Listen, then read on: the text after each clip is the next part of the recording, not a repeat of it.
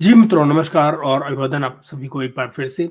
आप जानते हैं कि पाकिस्तान में इस समय एजुकेशन इमरजेंसी नाफिज कर दी गई है, एजुकेशन की इमरजेंसी। वैसे तो पाकिस्तान का परिचय इमरजेंसी से बार बार होता रहा है। अब से लेकर, जब से वो, उनका निर्माण हुआ, जब से वो अस्तित्व में आए basically Pakistan as a nation state जब से वो अस्तित्व में आए, तब से बार बार वो इमरजेंसी मार्शल लॉ ये ऐसे लफ्ज हैं जो पाकिस्तान के इतिहास में बार बार उभर कर आगे आते रहे। और इन्हीं के नाम पर, इन्हीं के अराउंड पॉलिटिक्स होती थी। जो नॉर्मल पॉलिटिक्स भी हुई, उसमें हमेशा ये खतरा मौजूद रहा कि कब इमरजेंसी लग जाएगी और कब माशाल्लाह लग जाएगा। इनफैक्ट मैं आपको यहाँ तक बताऊँ कि जो एक एक जोक जो चलता है अक्सर पाकिस्तान में कि कहीं ट्रैफ़िक जाम हो जाए, कहीं ऐसी दिक्कत आ जाए जो अन, अनजानी सी हो, अन अन यू नो अनप्रडिक्टेबल हो पहले से तो आप देखिए तुरंत लोग फ़ोन करना शुरू फौज तो नहीं आ गई। तो पहला फ़ोन जो लोग फ़ोन कर रहे होते हैं एक दूसरे को तो वही सवाल ये होता है, फौज तो नहीं आ रही कहीं? तो कुछ पता ही नहीं होता कि मतलब जो पॉलिटिकल गवर्नमेंट्स हैं, उनका बेड़ा कब घर को जाए, कब उनको उठा के बाहर फेंक दिया जाए, कोई जानता ही नहीं। फौज के आने की प्रोबेबिलिटी हर वक्त बनी रहती है। And which in turn means emergency माशाल्लाह कभी भी लग सकता है। ये है। तो मगर इन तमाम बातों के विपरीत, पहली बार जो एजुकेशन इमरजेंसी यहाँ लगाई गई है, उसका कारण यह है कि सरकार को लग रहा है कि भाई एजुकेशन पर इमरजेंट लेवल पे तुरंत पाकिस्तान में गौर किए जाने की ज़रूरत है। मैं आपको ये भी बता दूँ कि अगर आप बजट वाइज देखें, जो पैसे दिए जाते हैं डिफरेंट स्टेट्स को, और जो चूँकि एजुकेशन जो है वो सब्जेक्ट स्टेट सब्जेक्ट है तो उनका अपना भी बजट होता है इसमें सेंटर से भी पैसे आते हैं और स्टेट का अपना भी होता है। अकोमलेटेड बजट अगर आप बनाए तो मित्रों, जो इनका बजट बनता है I am sorry you know हल्का सा कफ तो जो इनका हल्का, जो जो बजट टोटल बनता है एजुकेशन के नाम पर, वो ओवरऑल पूरी कंट्री का बजट जो है एजुकेशन के नाम पर तमाम स्टेट्स को मिलने वाला और जो सेंटर से मिलता है, वो डिफेंस बजट से भी ज़्यादा बन जाता है इन टर्म्स ऑफ़ नंबर्स वो अलग बात है कि जो बजट दिया जाता है, वो दरअसल एजुकेशन पर खर्च कितना होता है। और कितना कमीशन बाजी हो कौन कौन कैसे कैसे प्रोजेक्ट एजुकेशन बना रहे हैं और कौन लोग कितना खा रहे हैं, ये एक अलग मुद्दा है। तो बेसिकली वो लोगों की जेब में चला जाता है। एजुकेशन के नाम पर वहाँ कुछ होता हुआ था, नहीं। और जो मान लीजिए कि कभी किसी ने, मान लीजिए बलूचिस्तान में एक वक्त आया जब उन्होंने स्कूल बनाने शुरू कर दिए तो वो स्कूल ऐसे बनाए कि जहाँ बच्चे ही ना हो। बच्चे ही नहीं वहाँ स्कूल बन गए तो उसका फ़ायदा क्या हुआ? पता लगा बाद में वो वहाँ के तोड़ ताड़ दिए, तालिबानों ने ये जो भी वहाँ पे आए, उन्होंने तोड़ ताड़ दिए। तो ये सब वहाँ चलता रहा है एजुकेशन के नाम पर करप्शन उसी बीच में तो दो दिन पहले ये जो आई खबर एजुकेशन इमरजेंसी की नंबर एक नंबर दो, कि साथ ही आज वजीरस्तान और वजीरस्तान में लड़कियों का एक स्कूल जला दिया गया। सो कॉल्ड टेररिस्ट ने जला दिया। बेसिकली या यूँ कहिए कि टीटीपी ने जला दिया एजेंस ने भी जला दिया जला दिया यू नो वजीरस्तान में। इन दोनों मुद्दों पर और फिर इनके साथ साथ जो, ये एजुकेशन के साथ में जो ये स्कूल जलाने वाला मुद्दा है एक। दूसरे, कि पाकिस्तान ऑक्यूपाइड जो कश्मीर है, वहाँ पर इस समय मुजाहरे चल रहे हैं बड़े ज़बरदस्त तरीके से। वहाँ मुजाहरे क्यों चल रहे हैं? बिजली के दाम बढ़ गए इन्फ्लेशन बढ़ गया जॉब्स है नहीं इंडस्ट्री है नहीं, जो रिलीफ मिलती थी कश्मीरियों को, वो सब नहीं मिल रही है।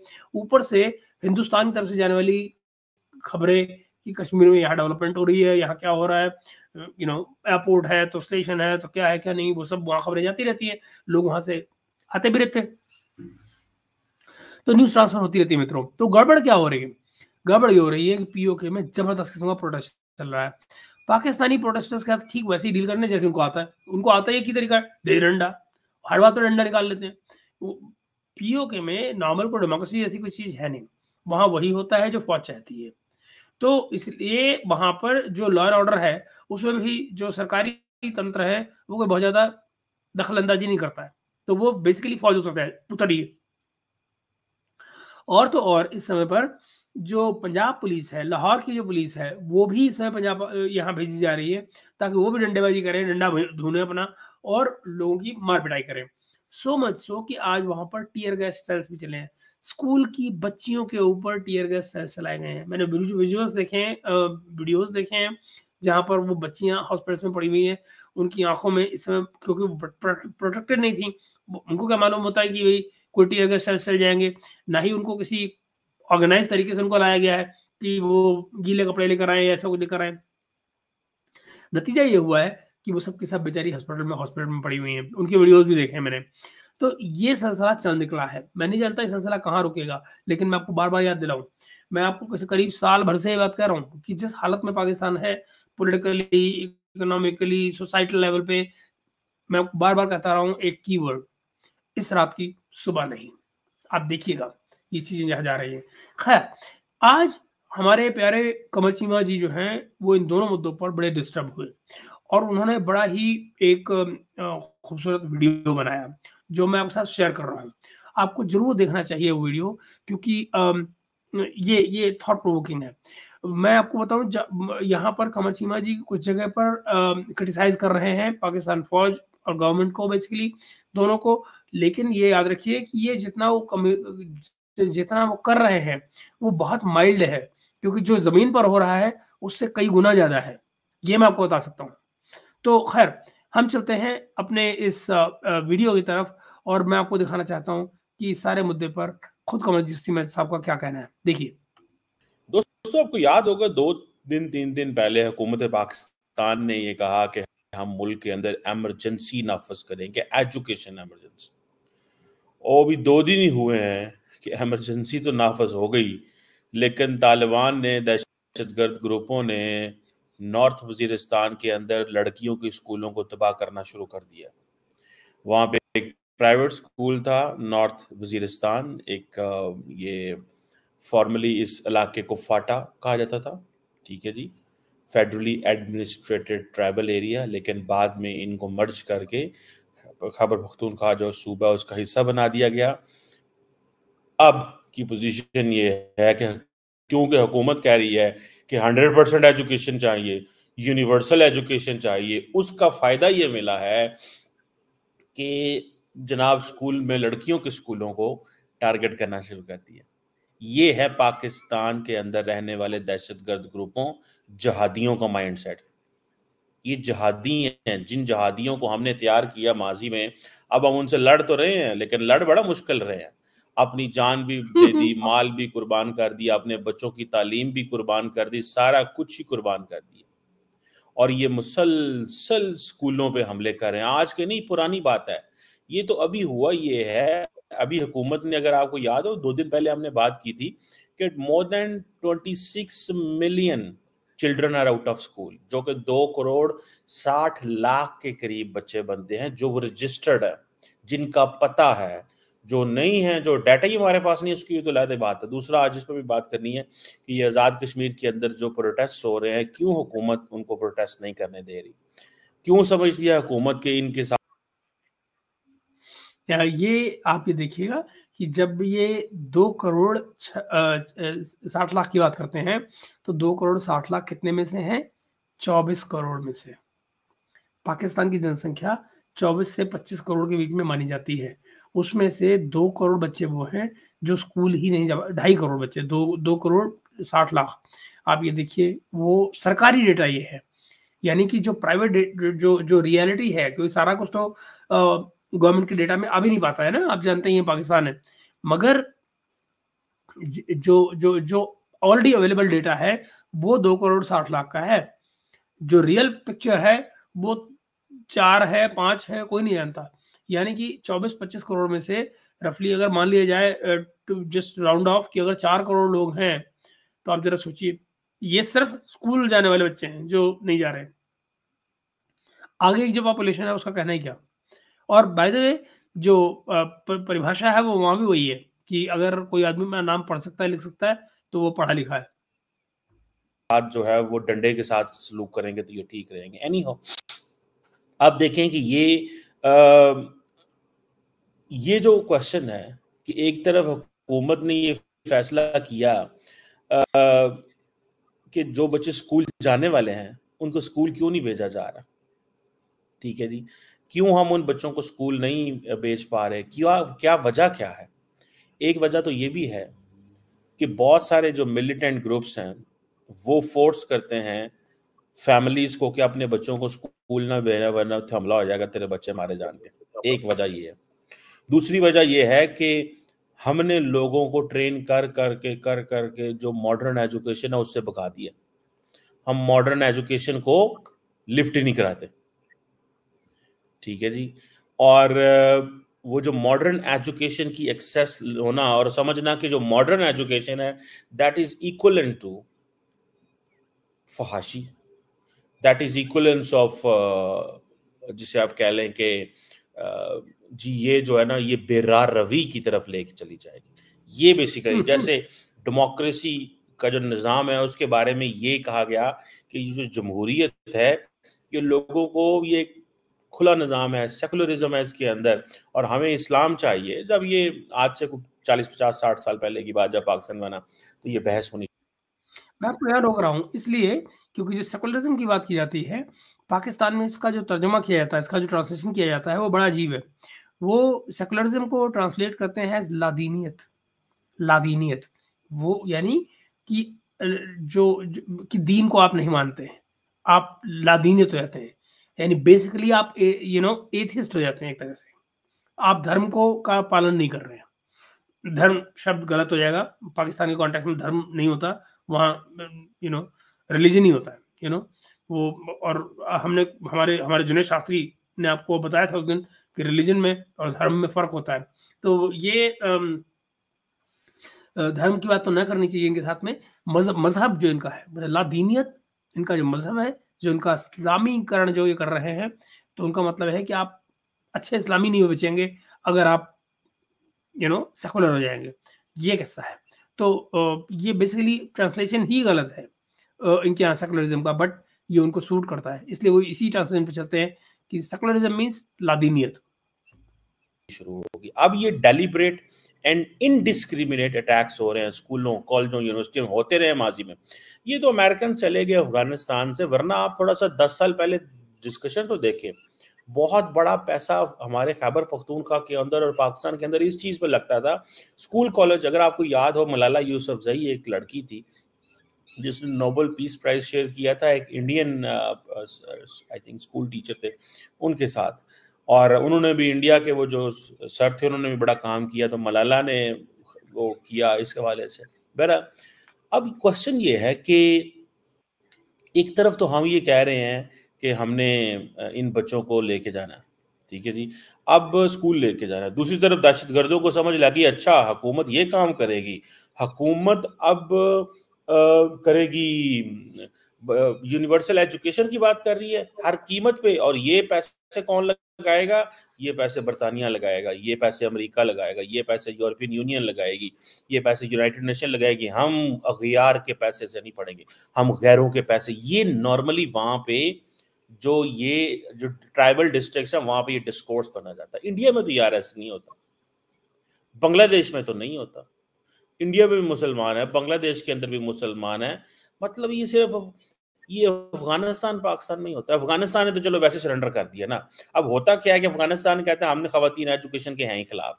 अब जो भी वेस्टर्न जाता है वहाँ पे वो करता है खातन की एजुकेशन खातन की एजुकेशन उनको पता है कि हमने खातन की एजुकेशन के बारे में बात की तो अफ़गानिस्तान के अंदर जंग शुरू हो जानी।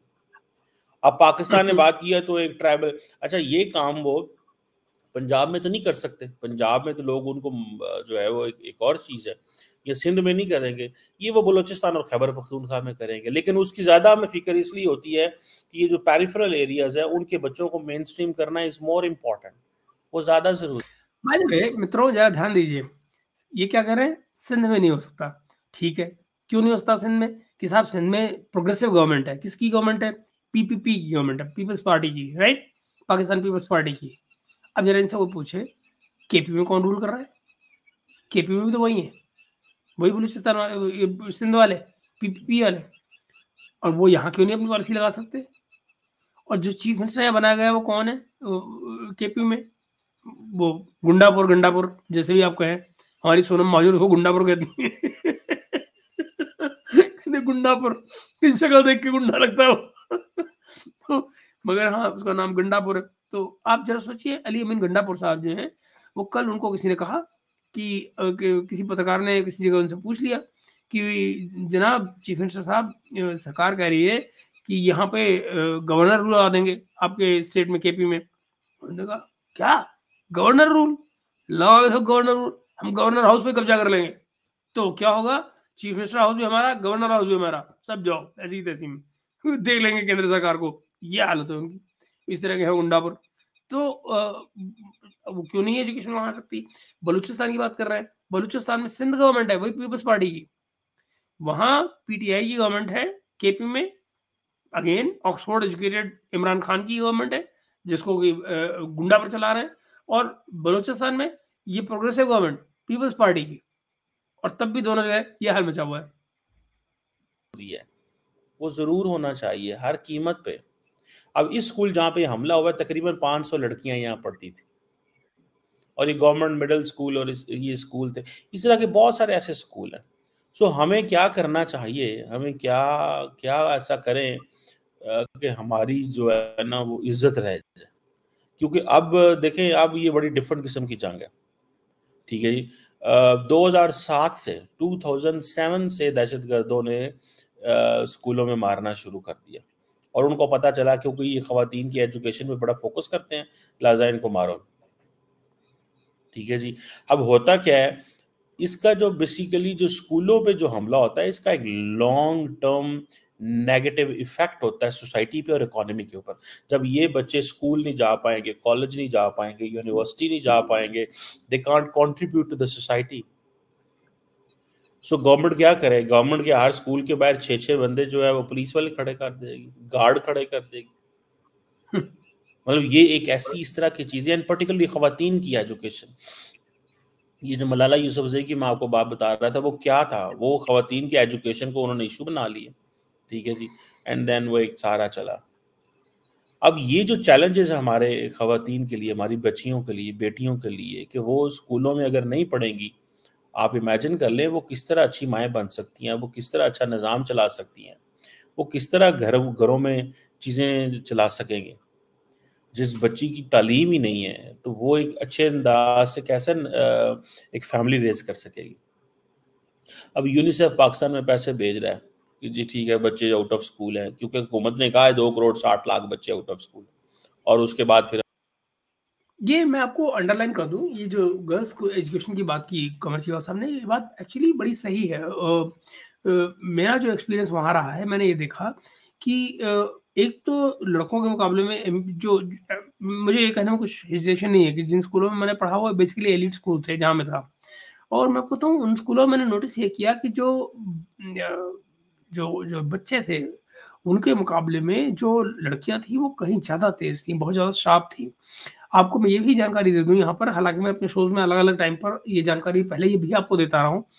वो ये कि आपको ये ब्रिलियंस जो वहाँ की खातन की है, लड़कियों की है, उससे पता लगेगी कि जो पाकिस्तान के मेडिकल कॉलेजेस की जो सीट्स होती हैं, उनमें सेवेंटी परसेंट सीट्स जो हैं, वो ज़्यादातर लड़कियाँ ले जाती हैं।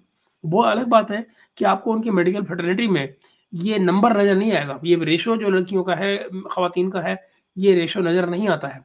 क्योंकि जनरली या तो वो एजुकेशन बीच में तो छुड़वा दी जाती है, या इवन जो एजुकेशन कर भी लेती है मेडिकल की पढ़ाई कर लेती हैं तो वो बेसिकली उनका पर्पज ये होता है कि इनकी फिर शादियाँ कर दो और फिर वो अपने बच्चों को पढ़ाएँगी।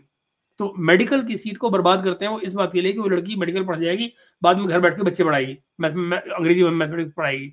तो ये हालत है पाकिस्तान की। तो ये जो एजुकेशन वाला सिस्टम है और जो उसको लेकर अप्रोच है लोगों की और सरकार की, निहायती फूहड़ है। लेकिन फिर भी आगे देखिए चीवा साहब क्या करें हमारे साथ ये हुआ। अब एक तरफ़ ये है, दूसरी तरफ़ अब देखिए ना, हर तरफ़ शोर ही शोर है। हर तरफ़ शोर ही शोर है। अब ये आज़ाद जम्मू कश्मीर का आप देख रहे हैं। ठीक है जी, गवर्नमेंट ने सुना वहाँ पे दो दिन की छुट्टी करार दे दी है, Friday and Saturday. Law and order situation करार दे के। ये तो फिर आज़ाद कश्मीर तो ऐसे ही लग रहा है जैसे मकबूजा कश्मीर है, इंडियन ऑक्योपाइड कश्मीर लग रहा है। उधर भी वो ऐसे ही करते हैं। अब क्योंकि वो वीट क्राइसिस और बिजली के टैरफ्स के हवाले से वो कुछ ना कुछ बोलते रहते हैं। पुलिस ने रिसेंटली आपको याद होगा, हमने हामिद बशानी साहब के साथ इस पर बात भी की थी। और ये जो एक एक है बेसिकली ए जे के की, आज़ाद जम्मू कश्मीर की जॉइंट अवामी कमेटी है। ठीक है जी? उन्होंने ये फैसला किया है। सिक्योरिटी रीजंस की वजह से। अब देखिए, एक चीज़ है। आप अगर लोगों को बात ही नहीं करने देंगे। हम जाते हैं इस पे। मैं खाली एक पासिंग रेफरेंस देता हूँ, क्योंकि देर हो जाएगी तो फिर हम भूल जाएँगे। ये जो उन्होंने एक लाइन का जुमला बोला है कि ऐसा लगता है जैसे ये मकबूजा कश्मीर हो गया, यानी हमारा इंडियन अकबर कश्मीर, जिसको कह रहे हैं। अब अब जरा सोचो, मुझे लगता है कि ये रेफरेंस जो उन्होंने दिया है, ये निहायती फ़ूड किस्म का है। ये सिर्फ़ पब्लिक कंजम्पशन के लिए दिया गया स्टेटमेंट है। वरना मुझे बताइए, हमारे यहाँ स्कूल कौन से बंद होते हैं? जब तक आपका दिया हुआ टेररिज्म था हमारी तरफ़ को, तब तक बात समझ में आती है कि किसी इलाके में टेररिस्ट ऑपरेशन हो रहा है, बंद किया गया।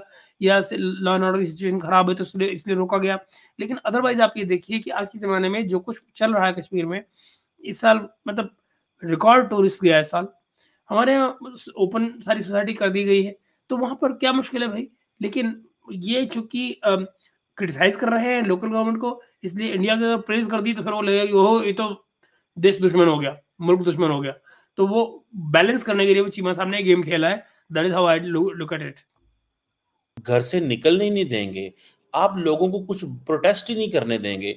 एंड देन आप जो दूध एंड शहद की नहरें भी आप नहीं बहा रहे। आप कुछ ऐसा भी नहीं कर रहे जिससे लोग सेटिस्फाई हो, मुतमिन हो। अगर आप स्कूल बंद कर देंगे यूनिवर्सिटियाँ बंद कर देंगे कॉलेज बंद कर देंगे एकेडमिक इंस्टीट्यूशन बंद कर देंगे, क्योंकि प्रोटेस्ट होने वाला है तो उनको रोकना ज़रूरी है। ये कौन सी लॉजिक है यार? अभी तो हमने पूरा हफ़्ता ईद की छुट्टियाँ गुजारी। अभी ये कोई ना कोई बाहर से डिग्निटी आया होता है तो चलो जी पाकिस्तान में छुट्टी हो जाती है। बाहर से डिग्निटीज आते रहते हैं तो हम हम तो सिक्योरिटी उनको प्रॉपर नहीं दे सकते। जब सिक्योरिटी नहीं देते तो छुट्टी वगैरह एंड देन आफ्टरवर्ड्स क्या होता है? अब फिर बड़ी ईद आने वाली है। महीने के करीब फिर पूरा हफ़्ता छुट्टियाँ। मतलब छुट्टियाँ ही छुट्टियाँ। काम कब करना है हम लोगों ने? अगर ये इस तरह होना है। प्रोटेस्ट होने तो यार होने तो लोग पीसफुल प्रोटेस्टर है। अगर वो आएगा प्रोटेस्टर आके प्रोटेस्ट करेगा तो चला जाए। अगर वो खुद ही जलाते हैं गिराते हैं तो लोग उन्हीं को गालियाँ देंगे और वो रिस्पॉन्सिबल होंगे और लोग उनसे पूछेंगे। लेकिन इतने ज़्यादा प्रियम्पटिव मैयर लेना कि आप आज़ाद कश्मीर के लोगों को कहो के पायन तुम करो बाहर ही नहीं निकल सकते हम हम्म। आपको जो है ना जैसे हमारे पंजाबी में कहते हैं तो लम्या पाला तो मतलब ये तो फिर कोई बात ना हुई। ये तो आप ये समझें कि ये ये जिसे ये ये ये बड़ी अहम चीज़ है। मैं आपको इसमें एक अगर अगर आपने यही करना है लोगों के साथ देन होगा क्या?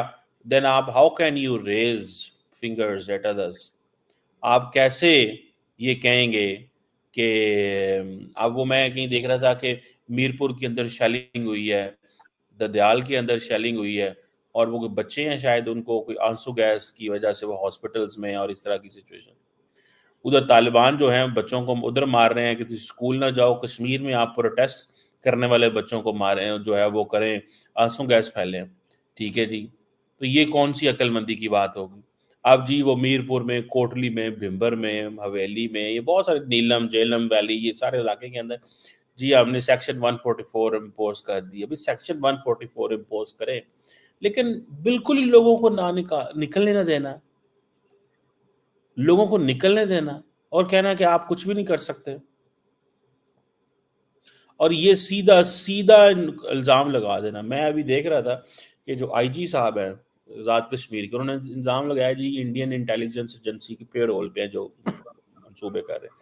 उधर कश्मीर में भी, मकबूजा कश्मीर में भी कहते हैं जी, पाकिस्तानी इंटेलिजेंस एजेंसी के पे रोल पे इधर इन बेचारों को अब देख रहे हैं, ये वो कंपेरिजन ये है वो बैलेंसिंग एक्ट कि जहाँ उनका आदमी इंडियन इंटेलिजेंस एजेंसी को कह रहा है, हम यहाँ अपने इन्फिल्ट्रेशन को रोते रहते हैं, हम तो इसलिए तुम्हारी इंटेलिजेंस एजेंसी को कहते हैं क्योंकि हमारे यहाँ आपके आदमी रेगुलरली पकड़े जाते हैं ट्रायल्स पकड़े जाते हैं जो हमारे यहाँ आ रहे होते हैं, आपके यहाँ से, आप क्या पकड़ रहे हैं? तो फिर आपका जो आदमी बोल रहा है, वो तो बिना किसी ग्राउंड के बोल रहा है ना, हमारे पास कभी ये ग्राउंड तो होता है कि वहाँ पर टेररिस्ट पकड़े जा रहे हैं, नज़र आ रहा है कि वो किस ग्रुप के टेररिस्ट हैं कौन उनके नाम है, उनकी आइडेंटिटी स्टेब्लिश हो रही है। मगर ये ये है, ये बैलेंसिंग एक्ट है कि आपको उस इलाके में मतलब पाकिस्तान में अगर आप हैं तो आपको, आप ये नहीं कहेंगे कि पाकिस्तान ने ये सब कुछ किया। वो कहेंगे, गलतियाँ तो दोनों तरफ़ से होती हैं। वो कभी नहीं कहेंगे गलतियाँ कि हमारे से गलतियाँ हुई हैं। ना, वो हमेशा दोनों तरफ़ से गलतियाँ हुई हैं। हमेशा बैलेंसिंग एक्ट आ जाता है, ये इंडियन इंटेलिजेंस एजेंसी के। अच्छा क्वेश्चन ये है वो कह रहे हैं कि पाईजान जो इलेक्ट्रिसिटी का जो टैरिफ है, वो जो चेंज किया है, जो अब वीट का जो क्राइसिस उस पर प्रोटेस्ट कर रहे हो। नहीं नहीं, तुसी एजेंसियाँ इंटेलिजेंस एजेंसियाँ दे बंदे ये तो कोई सवाल ना हो। ये तो कोई बात ना हुई कि जी आपके ऊपर, ठीक है जी। अब उनकी डिमांड्स बड़ी सीधी सीधी हैं। डिमांड्स ये हैं कि जनाब वीट सब्सिडी दी जाए, जैसे गिलगित के लोगों को दी जाती है, ये आज़ाद कश्मीर के लोग कहते हैं। जो इलेक्ट्रिसिटी के टैरिफ जो है ठीक है जी। वो उनको डिटर्मन किया जाए उस अंदाज से जहाँ इलेक्ट्रिसिटी प्रोड्यूस होती है। ठीक है जी। उधर से वो डिटरमिन किया जाए। मतलब ये नहीं कि बाद में टैक्सेस डाल के हमें दी जाए। तो जो मंगला हाइड्रो पावर प्रोजेक्ट है आज़ाद जम्मू कश्मीर का वहाँ से जितने की बिजली बन के निकलती है, उतने की हमें दीजिए बाद में ये जो आप टैरिफ लगाते हैं, मैंने तो अगले दिन अपना बिजली का बिल देखा, यकीन माने छः छः आठ आठ हज़ार रुपए तो टैक्स लगा देती है हुकूमत। पता नहीं क्या कौन सा टैक्स मुझे बता रहा था। ठीक है जी, कि उसको क्या पता एडवांस टैक्स के क्या टैक्स उसको बोलते हैं? आठ आठ हज़ार रुपए एक बिल के अंदर। अगर मेरे घर में दो मीटर लगे हुए हैं तो वही पे about fifteen thousand rupees taxes just taxes मतलब फिफ्टी डॉलर दुनिया में आप आप टैक्स देते हैं। मैं दुनिया के और मुल्कों में भी रहा हूँ। कौन ऐसे करता है यार आप इन लोगों के साथ? देन वो कहते हैं कि जी, ये जो अल्ले तल्ले अलीट किए ये बंद किए जाए। आज़ाद कश्मीर के लोग ये कह रहे हैं कि हमारे पैसे के ऊपर, हम पब्लिक टैक्स पेयर बनी के ऊपर अयाशियाँ हो रही हैं। जी? बच्चों की जो स्टूडेंट यूनियन है, उनको बैन लगे हुए हैं। सो ये जो एनवायरनमेंट पाकिस्तान में क्रिएट किया जा रहा है ना ये बड़ी फिर देन उनको राइट्स नहीं है। उनको कहते हैं जी, हमारा बैंक बनाए, कश्मीर का एक बैंक होना चाहिए। ठीक है? सिंध बैंक बन गया पंजाब बैंक बन गया तो कश्मीर का बैंक भी बना दें। यार बैंक बनाने से क्या होगा? The people will feel fine they will have an ownership उनकी ओनरशिप होगी। अब होता क्या है? एंड देन जी म्यूनसिपल जो पावर जो सतह पे पैसे भेजे जाए। सेलुलर कंपनी जो है, उनके इंटरनेट बड़े गंदे हैं वहाँ पे। इसमें कोई शक नहीं ठीक है जी। और बहुत सारे उनके दो तीन मुतालबे हैं। लेकिन असल चीज़ क्या है? जो हुकूमत पाकिस्तान जो मौजूदा हुकूमत का माइंड सेट है पाकिस्तान के अंदर कि लोगों को हिलने ही नहीं देना। प्रोटेस्ट हो गई नहीं। इसकी लॉजिक शायद जो मुझे नज़र आती है। इसकी लॉजिक शायद मुझे ये नज़र आती है कि हुकूमत ये समझती है कि हम दुनिया को बताना चाहते हैं कि ये मुल्क सेफ़ है सिक्योर है फलान है टमकान है। सो दो तरह के प्रोटेस्ट हैं। एक वो जो टीटीपी वाले करते हैं सीधे बम मार देने आके। बिल्डिंग ही उड़ा दो। एक पीसफुल प्रोटेस्टर जब पीसफुल प्रोटेस्ट जो कि लोग हैं, वो क्या करें अब?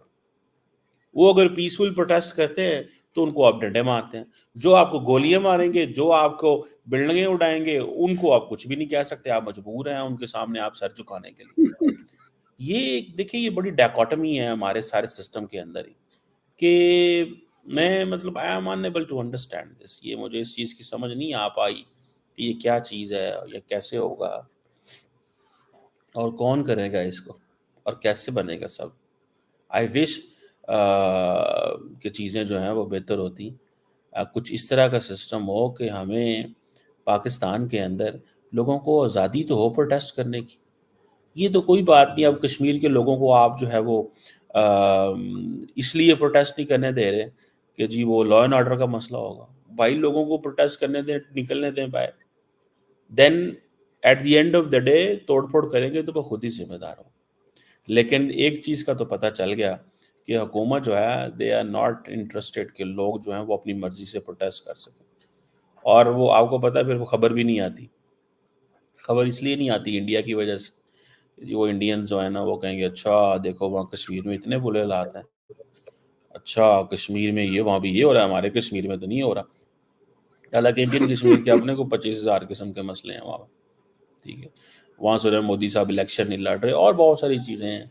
लेकिन the question here it is ठीक है जी ये जो चीज़ है कि हमें आई विश के इस चीज़ को हम समझ सकें अंडरस्टैंड कर सकें कि यार भाई लोगों को प्रोटेस्ट करने दें, लोगों को प्रोटेस्ट करने से आप जो है वो नहीं हो सकते।